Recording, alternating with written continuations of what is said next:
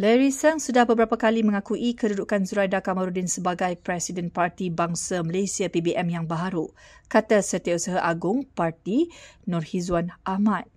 Justru katanya tidak akan mempertikaikan kedudukan itu sekarang adalah mengelirukan.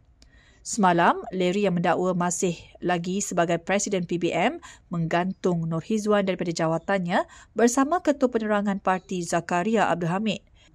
Menurut Nur Hizwan lagi, Seng sebelum ini berkali-kali mengakui Zuraida sebagai Presiden PBM semasa berhubung melalui WhatsApp dengannya atau dengan ahli majlis tertinggi parti yang lain.